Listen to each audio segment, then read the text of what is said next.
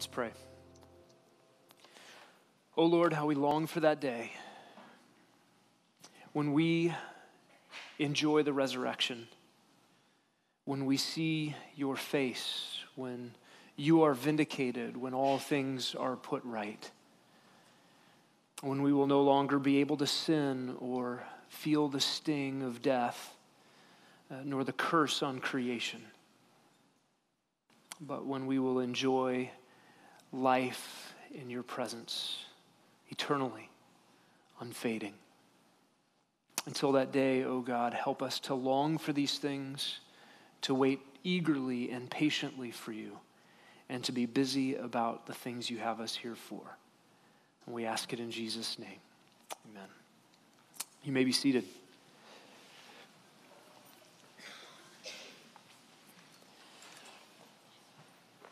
As you consider what we do here together on a Sunday morning,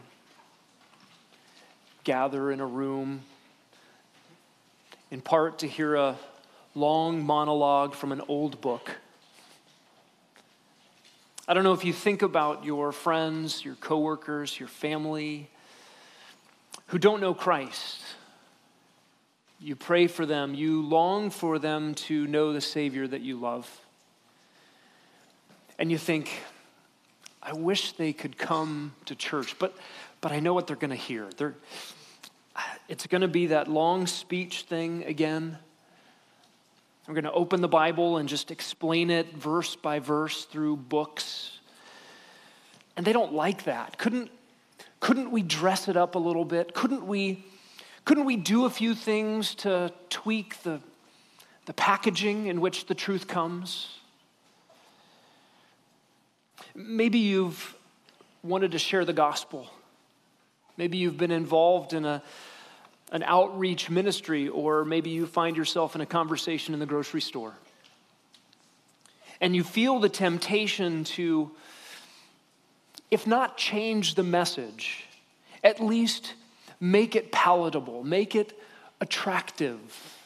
Find some way to win a hearing for the truth by appealing to the things that your hearer most wants. I feel these temptations. Churches feel these temptations. Maybe you've thought, you know, there's some really good communicators out there that have obviously studied how to do this thing. And I wish there had been a class that our pastors could have gone to to just learn how to really get people to make a decision Uh, really how to, how to move people with the right information and then the right techniques to get them to the point where they're ready to exchange their old life for a new one. They're ready to surrender to Christ. They're, they're ready to follow the Savior. Would that our pastors learned these things somewhere along the line. Maybe you've thought these thoughts. I've thought these thoughts. This morning, in our continuation of a philosophy of ministry series, we're looking in to the scenery behind the Apostle Paul's preaching. We're going to look at 1 Corinthians chapter 2, and I think there's no better place in all of our Bibles to see how Paul viewed the proclamation of the gospel and the declaration of God's truth. In our philosophy of ministry series a few weeks ago, we looked at Paul's declaration of a foolish message in 1 Corinthians 1. The gospel is foolishness to those who are perishing. And while 1 Corinthians 1 dealt primarily with the message of the gospel being foolish in the eyes of the world, 1 Corinthians 2 deals with the method of gospel proclamation as also being foolish in the eyes of the world. Three weeks ago, the message, this week, the method. And what we're going to do in 1 Corinthians 2 this morning is learn to embrace the foolishness, not only of the message of the gospel but of the method of unadorned gospel proclamation. The kind of witnessing to and declaration of the foolish message of Jesus Christ. And for that matter, the rest of the truths of God's word. To, to do that not in the trappings that please the world. And I think there's no better place to discover this than 1 Corinthians 2. The Apostle Paul not only embraced the foolishness of the message of the gospel, a crucified Messiah, a scandal to the Jews, a, a, puny God in the eyes of the Romans, and an unsophisticated philosophy to the Greeks. But Paul also embraced the foolishness of the way he was to deliver that message. That is a clear declaration of God's truth not dressed up in the packaging that the lost world adored, not made attractive to the world's tastes, not delivered in a manner to win the applause of unbelievers, and fundamentally, not with the goal of persuading unbelievers through these human means, but rather clear, unadulterated, unadorned proclamation of God's message. The heading for this comes back in chapter 1, 1 Corinthians 1:17. Paul says in the second half of that verse, Christ sent me to preach not in cleverness of speech. There's the method. And he called me to preach the gospel. There's the message. Not in cleverness of speech, the method, so that the cross of Christ would not be made void. And what's at stake here is we actually lose the gospel when we compromise the message. That should be obvious enough. But we actually lose the gospel when we compromise God's method of proclaiming the gospel. And we can so often do that through good intentions and undermine the very thing that we love. Let's read together 1 Corinthians chapter 2. All 16 verses will be our text this morning. And Paul writes, When I came to you, brethren, I did not come with superiority of speech or of wisdom, proclaiming to you the testimony of God. For I determined to know nothing among you except Jesus Christ and Him crucified.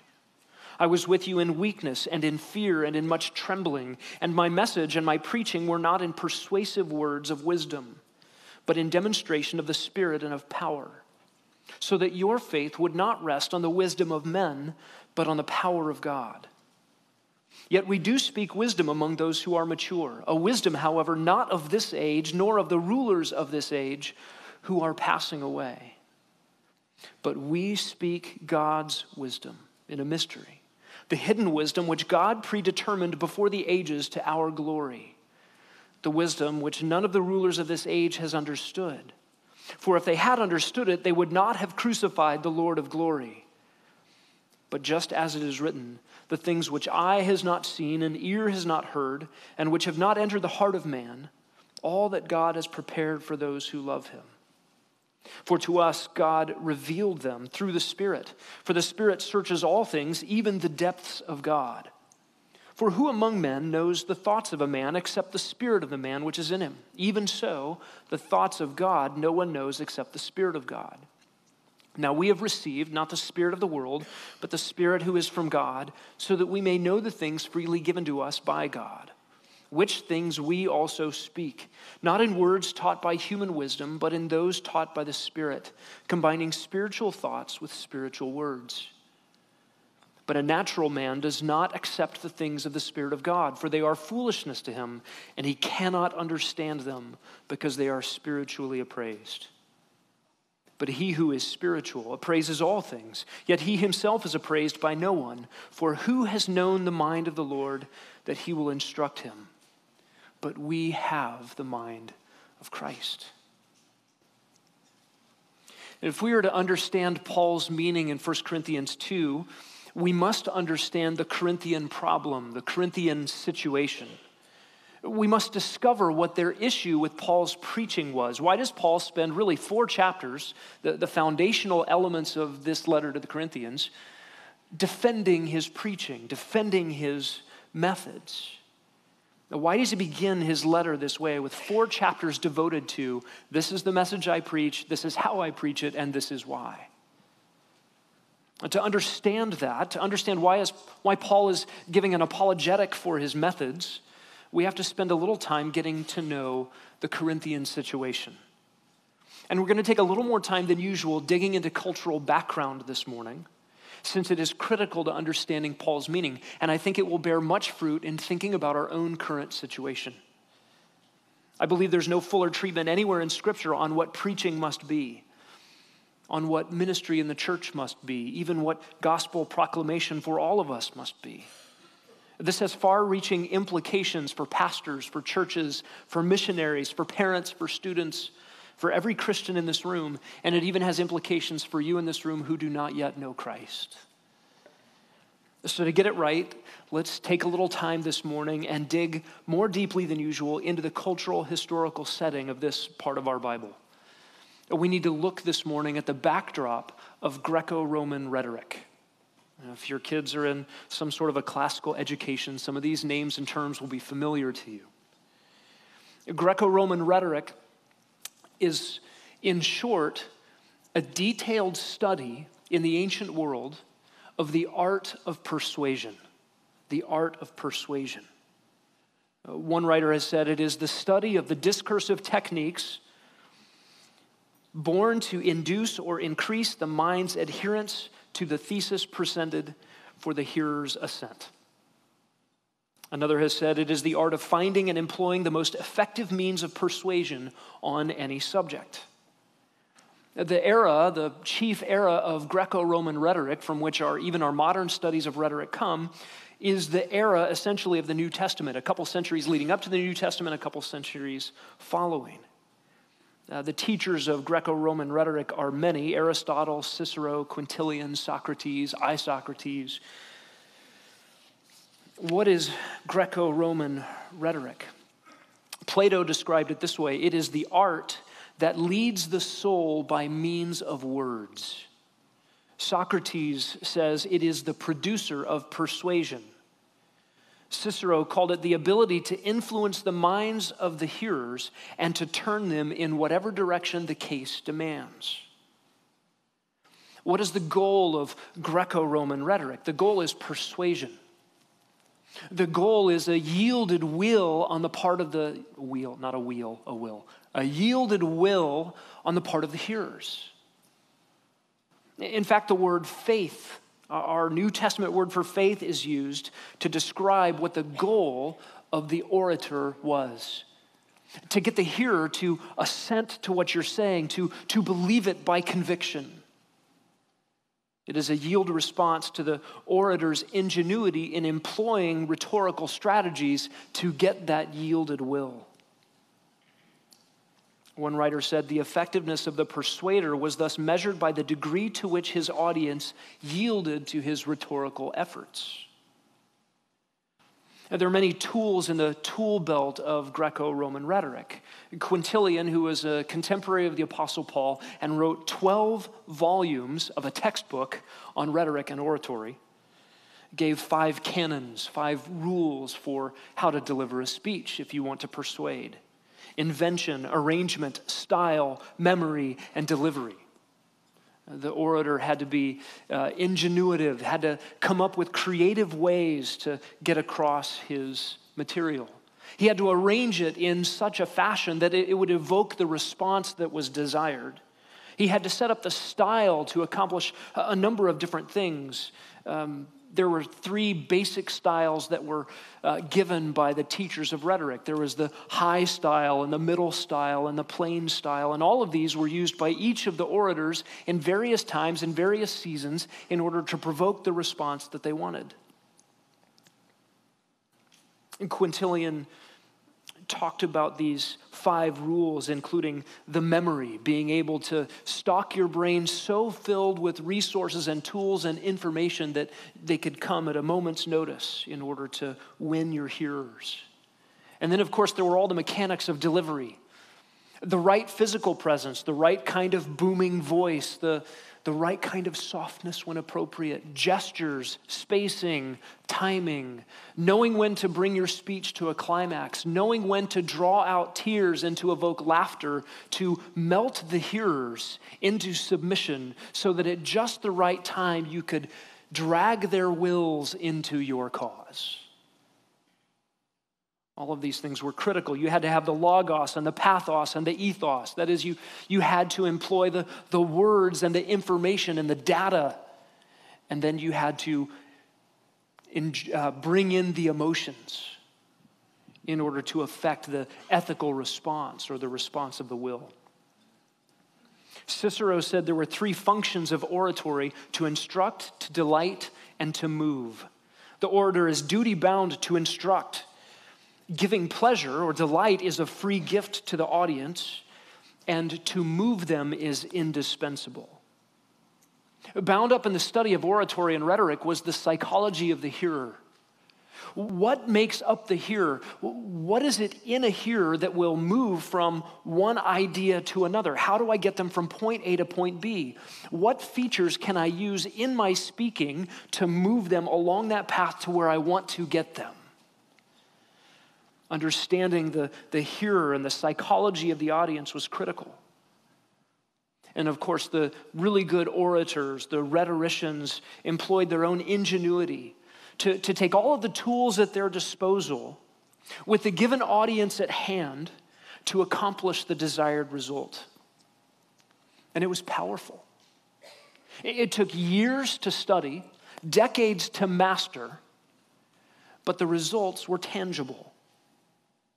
Plato said, This is the art that leads the soul by means of words. One teacher of rhetoric called it the ability to persuade with speeches.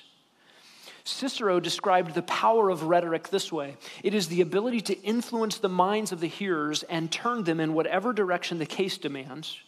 He said, There is to my mind no more exceeding thing than the power, by means of oratory, to get a hold on assemblies of men, win their goodwill, direct their inclinations where the speaker wishes. He said, This eloquence has the power to sway men's minds and move them in every possible way. Now it storms the feelings. Now it creeps in, it implants new ideas, and it uproots the old. Cicero described one excellent poet that had such eloquence that it was called the soul bending sovereign of all things. Cicero said, when one hears a real orator, he believes what is said, thinks it true, assents, and approves the orator's words with conviction. The listening throng is delighted, is carried along by his words, is in a sense bathed deep in delight. They feel now joy, now sorrow. They're moved now to laughter, now to tears. They show approbation, detestation, scorn, aversion. They are drawn to pity, to shame, to regret. They are stirred to anger, to wonder, to hope, and fear. And all these come to pass just as the hearers' minds are played upon by the orator's word and thought and action. And Quintilian, who is that contemporary of the Apostle Paul, said of Cicero, he was born by the favor of providence to be the man in whom eloquence could try out all her powers. Who can give information more precisely or stir the feelings more deeply? Who had ever such gift of charm? You believe him to be winning by consent what he is really extorting by force. And when he sweeps the judge along with his violence, the judge feels not that he was being hijacked, but he is going along of his own accord. Indeed, such is the authority in everything Cicero says that one is ashamed to disagree. You can imagine the value that was placed on the skilled orator. In any walk of life that required public speaking, you want this kind of power. You want to get things done. In fact, the Greeks valued rhetoric so highly, they said it's, it's better than warfare because people don't die. we can move nations, we can sway opinions, we can conquer kingdoms with words. And that's better. The reach of Greco Roman rhetoric in the New Testament era was universal. It was everywhere. Not, not everybody in, in the Greek and Roman world was an orator, but everyone was a critic of oratory. Everybody knew what it was, everybody knew its vocabulary, everybody knew the expectations of what was required. There were the professionals, and everybody else played fantasy rhetoric. The esteem of eloquence was part of the culture. In fact, it was the pride of Greek culture. Rhetoric was said to be the crown of a liberal education. Similarly, today, most people watch movies. Not many of us are movie producers, but all of us are movie critics. And what is it we appreciate in some cinematic presentation? We want to be moved. We want to be informed. We want to get information. We want to get emotional tug. We want a good story. We want to laugh. We want to cry. And consider the movie producer with an agenda that wants to get us somewhere. There are techniques for that, there are procedures for that, there are well worn patterns and well known techniques that get the audience from one place to another. Interestingly, the audience is sovereign over the producer. And we'll talk about that relationship in a moment. The esteem of skilled orators was high. Skilled orators spent years training, and those who were successful combined their years of training with natural talents and impressive physical presence. They were prized as advocates, as lawyers, successful as politicians. Uh, I can imagine they would have been successful used chariot salesmen. There were careers to be made in teaching rhetoric, and many plied their oratory skills simply for entertainment. People went to hear speeches to be entertained by the act of speaking. This brought along with it wealth and advancement. It was possible to move the, up the rungs of social status and wealth simply by studying rhetoric. Now, there's a relationship between the audience and the orator. There's a deal going on. The, the audience really is sovereign. The orator is playing the audience, and the audience is judging whether the orator has played them well enough to yield. and we won't go listen to you again if you don't play me well enough to get me to yield to what you're trying to convince me of. We judge songs and plays and movies this way. I want to be moved. I'm paying good money to be moved, and I want you to use all of your skills to affect me. If you're not good at it, rotten tomatoes. I want to contrast for just a moment two types of public speakers in the Greek world.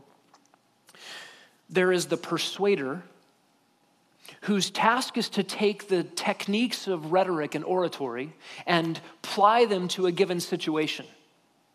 To sort of make the equation between my tool belt, the given audience, and all the variables involved in the audience to get my results.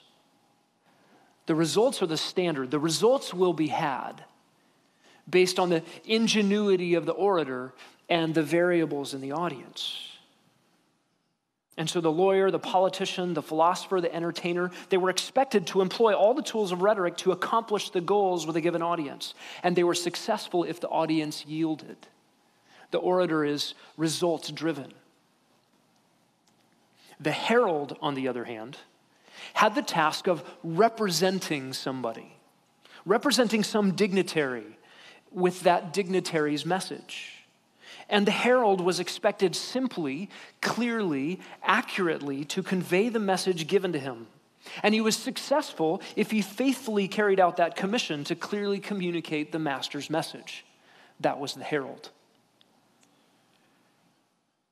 In the words of Duane Litfin, a commentator on Greco Roman rhetoric and its application to ministry today.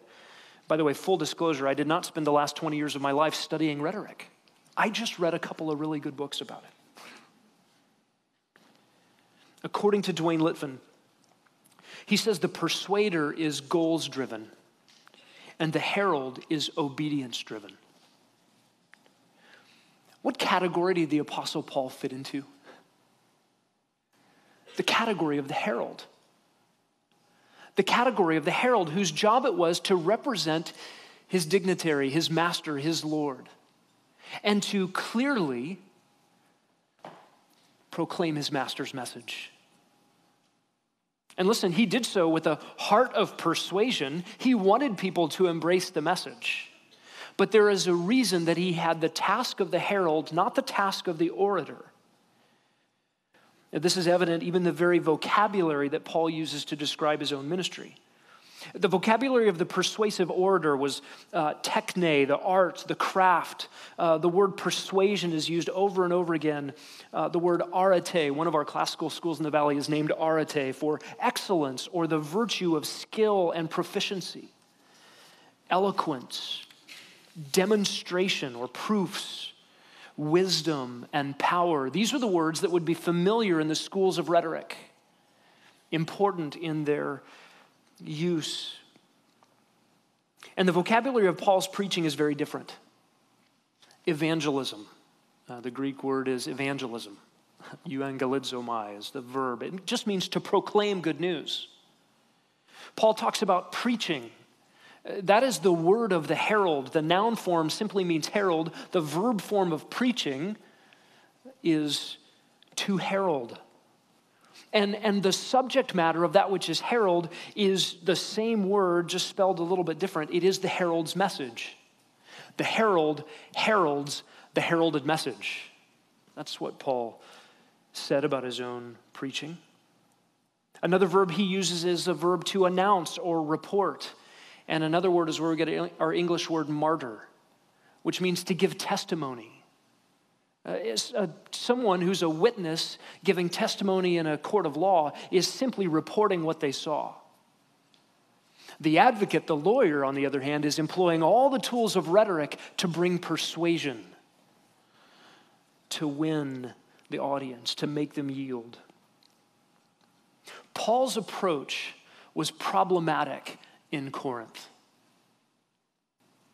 the literature from the day gives evidence to the fact that Corinth was a city that had its prominent schools of rhetoric and oratory and its prominent teachers contemporary with the Apostle Paul. And it's evident from the book of 1 Corinthians that they esteemed these orators. They knew the rules of rhetoric, they knew the techniques, and they couldn't figure out why Paul wouldn't employ those techniques to package this all important message of the gospel of Jesus Christ.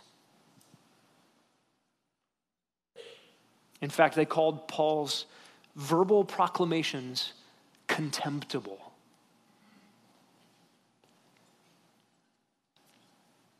Quintilian, that contemporary of Paul's, wrote this about rhetorical power.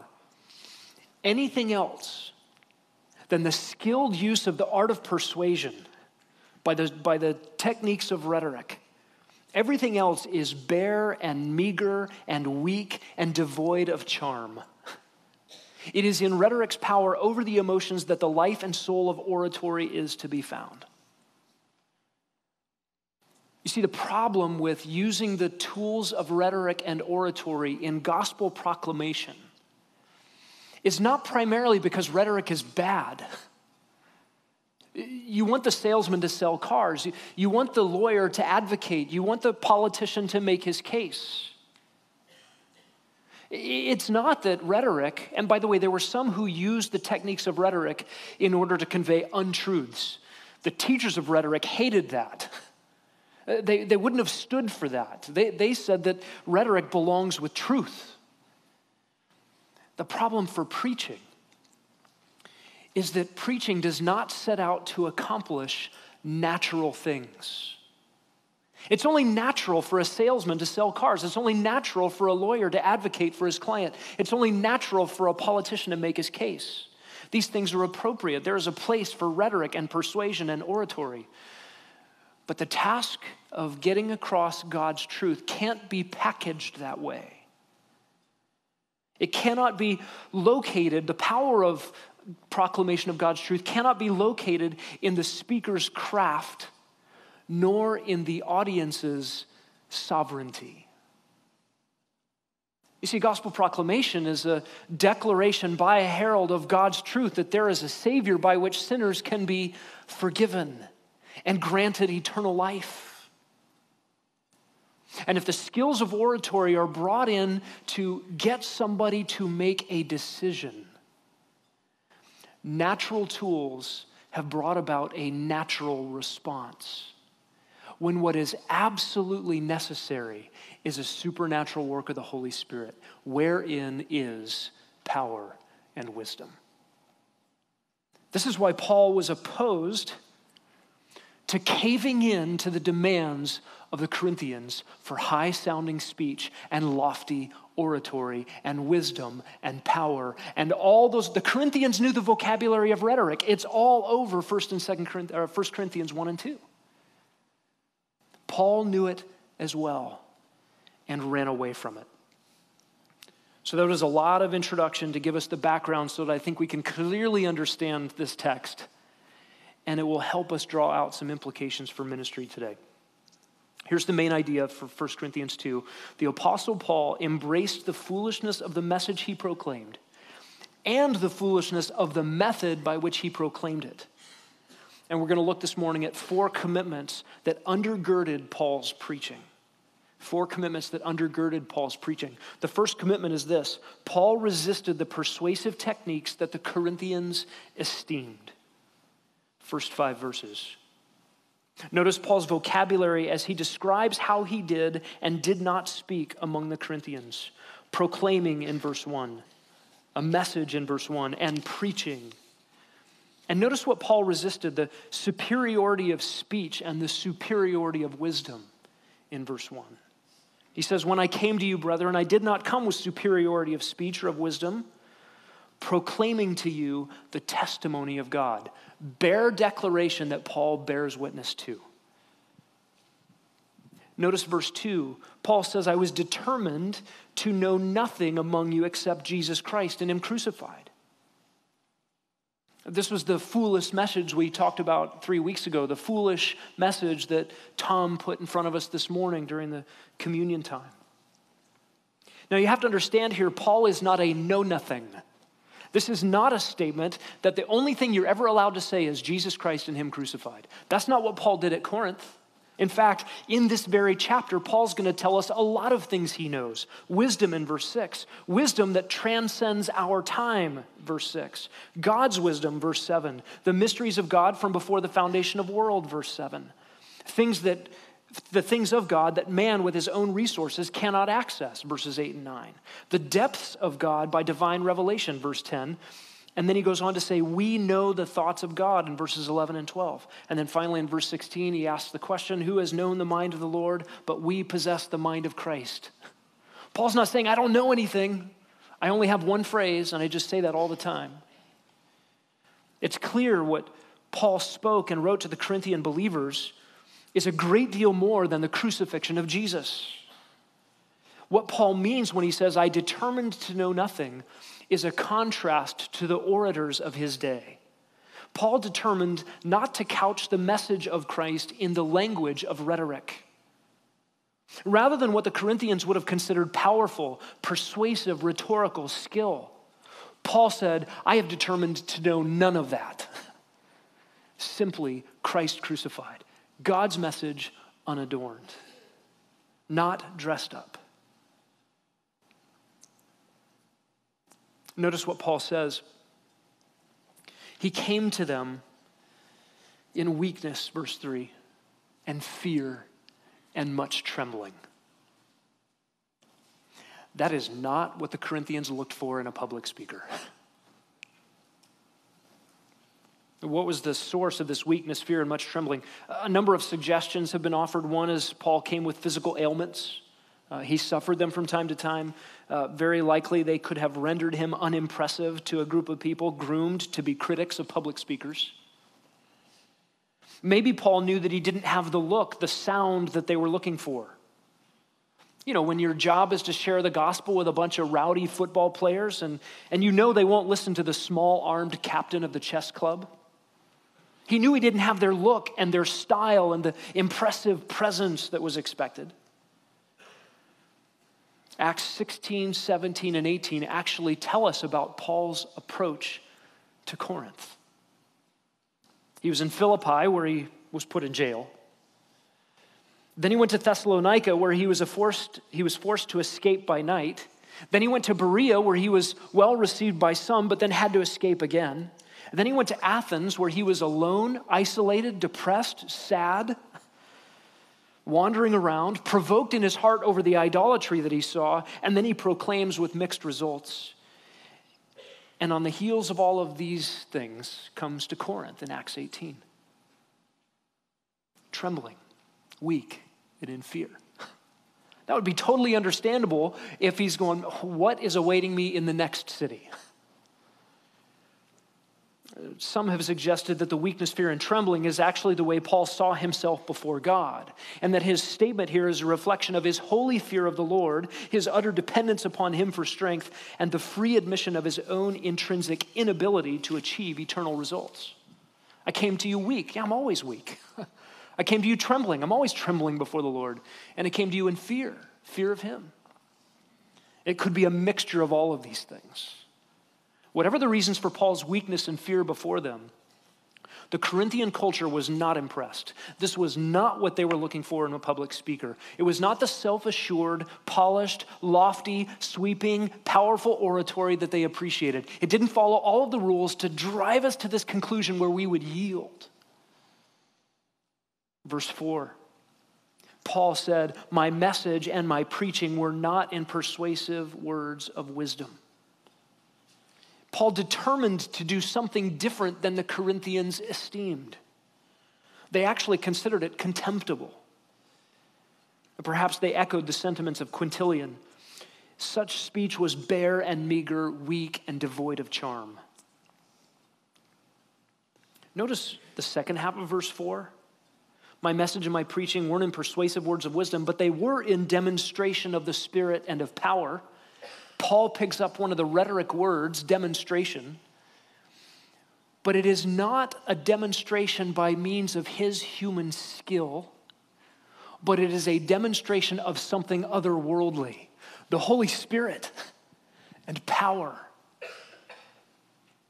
And how did Paul's words actually come to the Corinthians? Acts 18 verses 8 to 11. After reasoning in the synagogue with the Jews and Gentiles there, uh, they eventually resisted and blasphemed. In verse 8, Crispus, the leader of the synagogue, believed in the Lord with all his household, and many of the Corinthians, when they heard, were believing and being baptized. And the Lord said to Paul in the night by a vision, Do not be afraid any longer. Uh, did Paul have fear? Probably fear of man? Yeah. But go on speaking and do not be silent, for I am with you, and no man will attack you in order to harm you, for I have many people in this city. And Paul settled there a year and six months, teaching the word of God to them. So, Paul is writing this letter to, to the Corinthian believers well after Acts 18, after the experience of Corinthian believers actually getting saved coming to faith through, through Paul's simple proclamation of the gospel, not like the orators they esteemed. This is a demonstration not of the orator's prowess, not his skill in selecting the correct rhetorical tools for his audience in order to achieve the desired results, but a demonstration of the Holy Spirit and of real power that caused them to be born again. So, Paul is committed in this letter well after the fact of their conversion, to the same methodology that actually brought them to Christ. And, and I find it ironic. Many times, you know, we recognize at, at some level that I don't know what happened to me, but God saved me. And we turn from that amazing awareness that God saved me to thinking, man, how, how, can I get other people to be saved? What are the tricks of the trade? What are the tools? What must I do? What are the procedures? What are the arguments? What are the. And we forget. The Corinthians forgot. And so they even had set up factions amongst themselves about which orator they liked the better. Their love of esteem at a human level infiltrated the ministry of the church. So Paul says in verse 5 so that I did, what did I do? I determined to do nothing but Christ and Him crucified, not in persuasive words, but in real power. I determined these things so that, verse 5, your faith would not rest on the power of men, but on the power of God. This was Paul's intentional philosophy of preaching. You see, a man persuaded and a man born again are two totally different phenomena.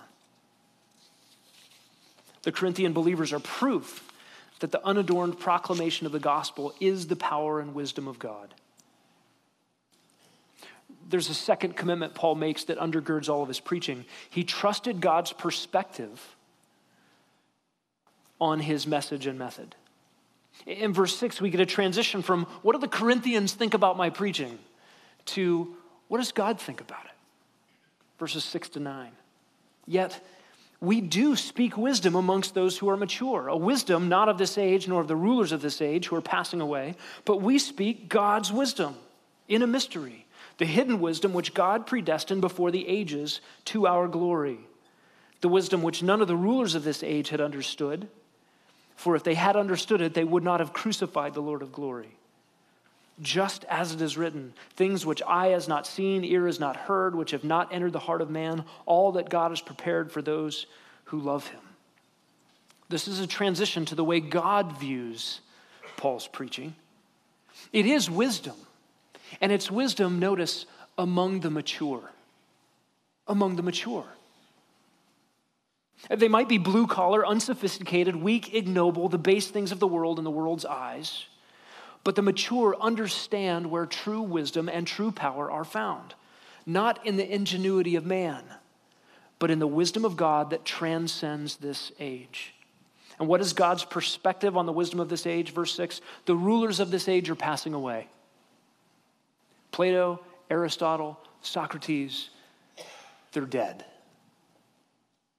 And even though Western civilization has depended on them for centuries for the art of persuasion, it is merely human, merely natural. And all those who lord it over this earth pass away. The rulers that crucified Christ pass away. Even the spiritual rulers in the heavenlies will pass away. But God's wisdom is timeless. Verse 7 We speak God's wisdom in a mystery, the hidden wisdom that God predestined before the ages. Listen, the wisdom you and I have simply clearly proclaimed in the scriptures was around a lot longer than Aristotle. And it'll be around a lot longer after. And God's wisdom, verse 7, results in our glory. Listen, the glory and power and esteem that came to the skilled orator far surpassed by the glory that comes to simple believers in the gospel of Jesus Christ. Verse 8, God's wisdom was totally missed by the movers and the shakers of this world. They whiffed. If they had understood it, if they had understood real power, true wisdom, timeless truth that transcends culture and circumstance, they would not have crucified Jesus, but they did. And it proves that they're not as wise and smart and powerful as they thought they were. And all of this, verse 9, was God's design. A quote from Isaiah 64 4. Things that stuff, uh, things that man could never have come up with, God did. A third commitment that undergirded Paul's ministry and preaching Paul recognized the spiritual nature of God's revelation. Paul recognized the spiritual nature of God's revelation. Verses 10 to 13 is all about God's revelation of truth in the first century to the apostles. To the apostles and prophets, that foundational layer of truth giving to the church when there was yet no Bible. Ephesians 2:20 says the apostles and New Testament prophets are the foundation of the church. Paul picks up this theme in the very next chapter in 1 Corinthians 3 saying that he is laying a sure foundation. And you have to be careful how you, us, we build on it. Paul and his associates, the purveyors of the message of the gospel, the apostles, those receiving direct revelation of God, received spiritual things. They, Paul understood the spiritual nature of what God was revealing. God revealed them. Uh, he says, Who is it, verse 11, who knows what a man's thinking? You can't know what I'm thinking unless I tell you. And we can't know God's mysteries unless He tells us. Verse 11 Who among men knows the thoughts of a man except the spirit of man within him? Not the Holy Spirit, but your own mind. And even so, the thoughts of God, no one knows except the Spirit of God. Listen, if we are to know God's wisdom, it's not coming by human means. It is only coming by the Holy Spirit of God who chooses to reveal them. And that is exactly what Paul is claiming. His message was the direct revelation of God to him by the Holy Spirit, which essentially comprises New Testament. You and I have access to these very real, transcendent truths in our Bibles. Paul's claim in verse 10 was that God revealed them to him. In verse 12, that God freely gave them to him. This is the work of the Holy Spirit in revelation. We have to be careful with the word we here. Look at verse 13. Um, now we have received not the spirit of the world, but the spirit who is from God, so that we may know the things freely given to us by God. You and I are tempted to read we as you and me, us in this room. That's not how Paul is using we.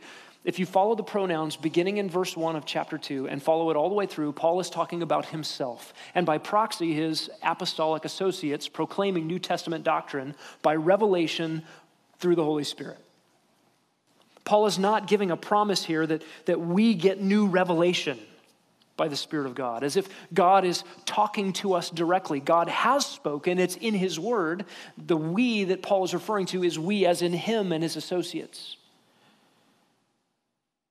So he says, We've received them. Uh, the reason Paul can speak unashamedly without all of the adornment of rhetorical flourish is because he knows the author of this content.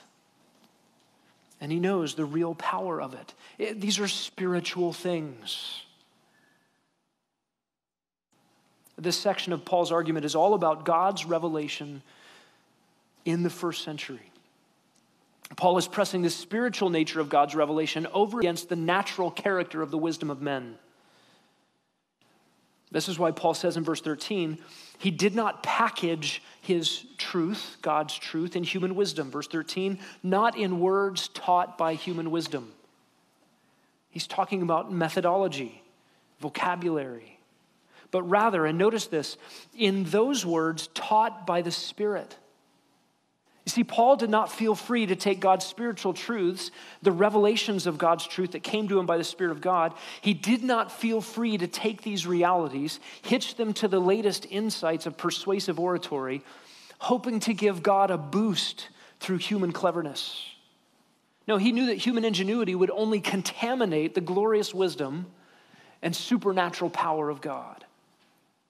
And so he says, literally, combining spirituals with spirituals uh, New American Standard Bible says combining uh, spiritual things or spiritual thoughts with spiritual words. And this word for combining here can be the idea of combining or even interpreting. The same word was used of Joseph's dreams. He interpreted dreams.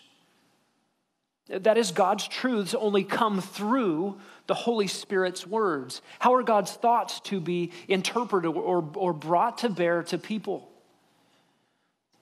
By God's method, the Holy Spirit's own vocabulary. These are God's truths, unadorned, undiminished, unapologetically heralded by faithful proclamation.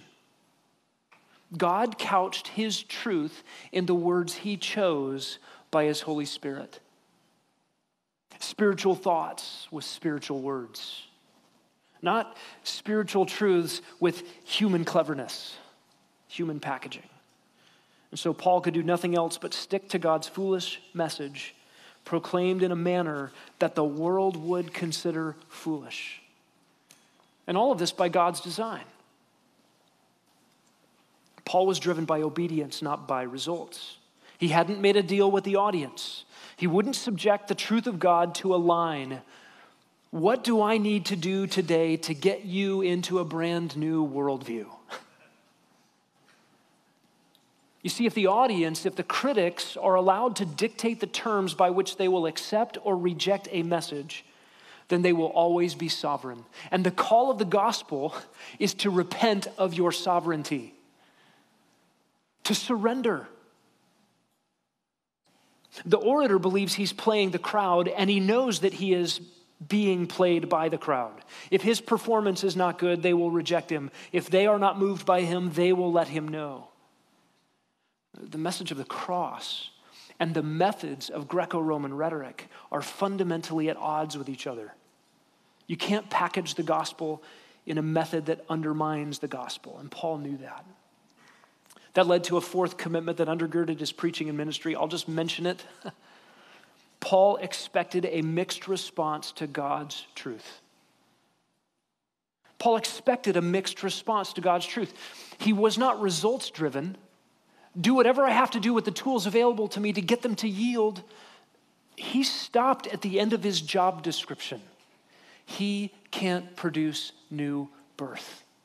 Right? A man must be born above, born from above, not by the will of man. That includes the preacher, that includes the parent, that includes the neighbor, that includes the missionary. Who is the natural man? This is the unbeliever. Um, it, it, just means worldly. Um, James 3:15 says it this way, the wisdom of this world is not which comes down from above, it is earthly, natural, same word, and demonic. The natural man does not accept and cannot understand the things of God. What a tragedy when the church takes up the cause of doing whatever it can to get the natural man to accept. You see, whatever tools you pick up as the tools of persuasion, you, you have persuaded the natural man to those tools.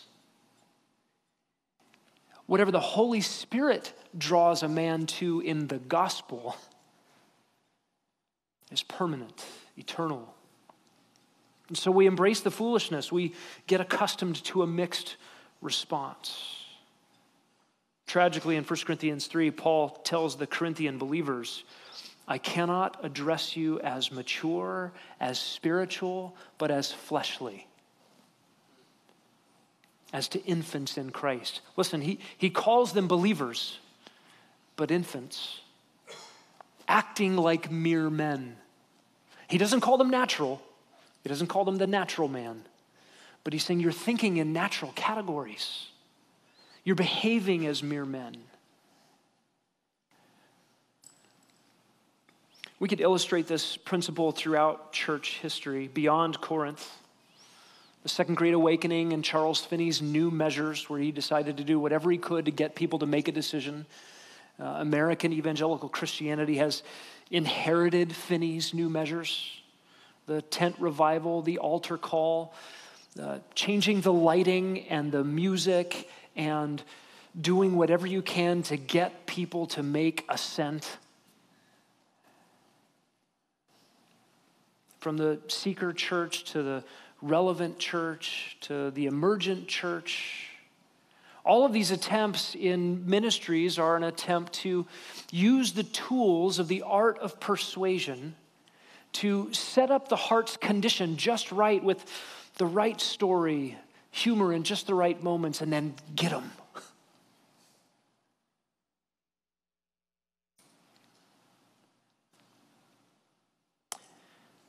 Cultural awareness becomes critical. The orators talked about understanding the psychology of the audience, what variables exist in the audience, and what variables are in my tool belt, and how can I put these things together to get my intended results. Today, our cultural awareness is so critical in the eyes of the world. What will make me sound as the presenter in touch with the wisdom of my hearers? So I have to consider my surroundings. If, if I'm in an intellectual crowd, I use big words to impress. If I'm in a blue collar crowd, I go blue collar. And uh, we adorn our gospel presentation in, in whatever the trappings are that seem wise to the audience, the sovereign audience. Now, listen, Paul did adapt his vocabulary and his methods. You could see the difference between Acts 16 and Acts 17, between a Jewish audience in the synagogue and a Greek audience in Athens. But he did not adjust his techniques to bring about the persuasive moment. Paul adjusted for clarity, for clarity, not cleverness. He sought the unadored gospel to be understood, not a dressed up gospel to persuade. Do you understand the difference?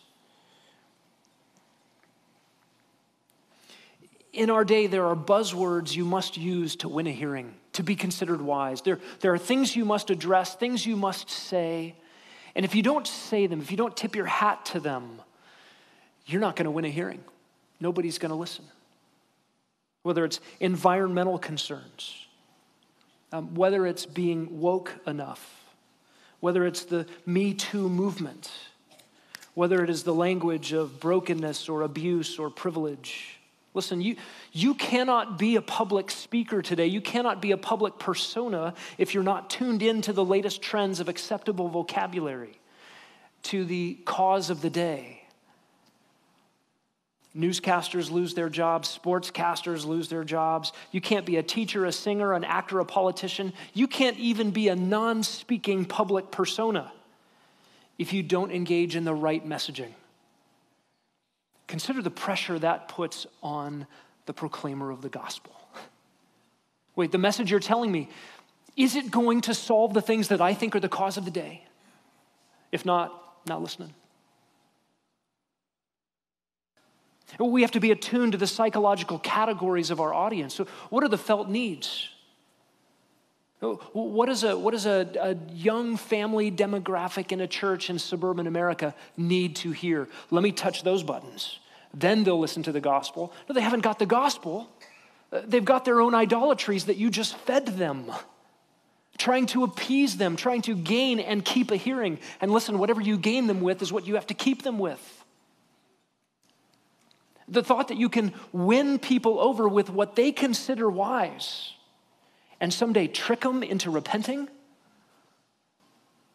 it's the worst kind of bait and switch. The problem with the tools of persuasion applied to the task of heralding God's truth is not that they're inherently sinful, it's just that they're natural, they're human, and they bring about human natural results. And, and if we employ those things for gospel proclamation, they will bring about false results. You know what Charles Finney said at the end of his life in despair? I guess it was my lot in life to bring about tens of thousands of spurious conversions. People who made a decision because he persuaded them who weren't Christians and went to hell.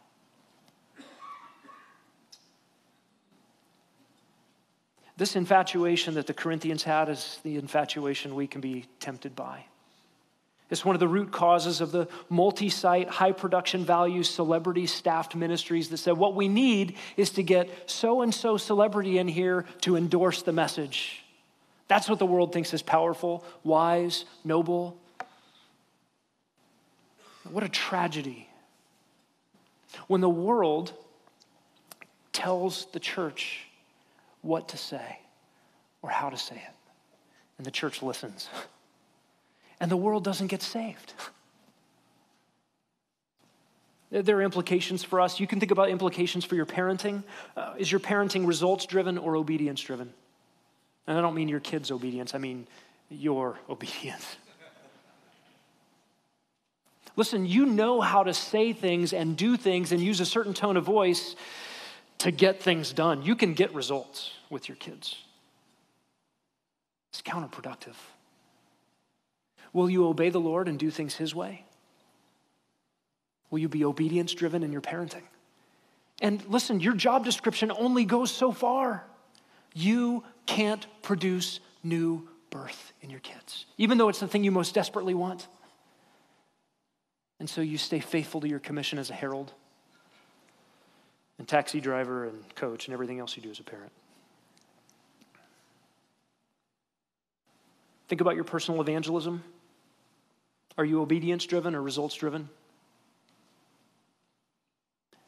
Oh man, I, I, just offended that guy with the gospel. Maybe I'm in a Muslim culture, I'm not going to say Son of God. Uh, this, this person doesn't want to talk about sin, so we'll talk about brokenness. Uh, this person doesn't want to think about their offense before a holy God, so uh, we'll just talk about mistakes, we'll talk about complications. We'll just soften the whole deal. There, I'm changing the content. We also feel the temptation to change the packaging. How can I be persuasive with this person? And, and, and your task is to be a herald And, and of course, there are implications for preaching. The whole schools of preaching actually follow all of the schools of rhetoric that we surveyed this morning. That's how you preach. That's the art of persuasion. What is preaching if it's not persuasion? Listen, don't you want people to follow Christ? Don't you want people to know him? Don't you want people to change their lives and do better and try harder? Don't you want that? Yeah, okay. Well, persuade them. And here's the tricks you can go to school for this the tearjerker story, the well placed humor, the perfectly alliterated outline points. Maybe incorporate imagery, you know, drama, skit, what, you know, those things kind of come and go.